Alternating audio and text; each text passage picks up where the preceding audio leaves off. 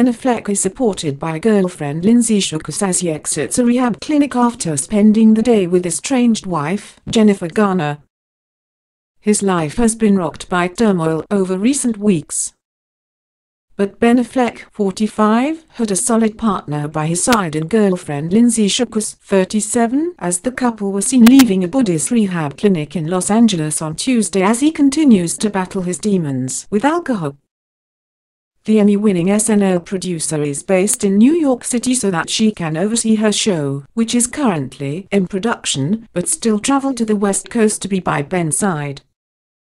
The Academy Award-winning actor and director and his girlfriend both arrived and left the outpatient center together.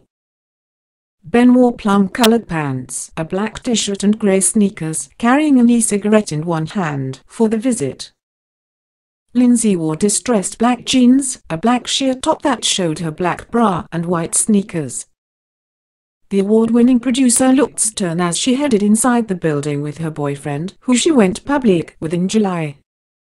Lindsay isn't the only supported woman by the Argo actor's side. Ex-wife Jennifer Garner, 45, was spotted chatting and laughing with Ben on Monday as he dealt with the fallout of his 2003 groping scandal. The couple were married for almost 10 years and raised daughters Violet, 11, and Serafina, 8, and son Samuel, 5, together.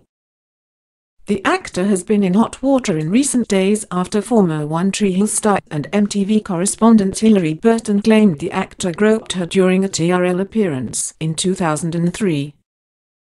Hilarie made her allegations just hours after Ben took to Twitter to condemn disgraced movie mogul Harvey Weinstein for his alleged sexual assault and harassment scandal. Former Weinstein protege Ben said he was saddened and angry over the sickening claims. His statement was slammed by a number of people, including Weinstein accuser actress Rose McGowan, who called Ben a liar. Ben was quick to reply, tweeting, I acted inappropriately toward Ms. Burton and I sincerely apologize. The same day makeup artist Anna-Marie Tendler took to Twitter to claim that Ben grabbed her asterisk asterisk at a Golden Globes party in 2014 and demanded an apology. The actor and director has been focusing on his sobriety after a full-time rehab stint in February, which came before he went public with his alcohol addiction in March. He wrote on Facebook at the time, I have completed treatment for alcohol addiction.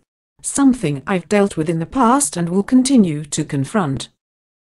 I want to live life to the fullest and be the best father I can be,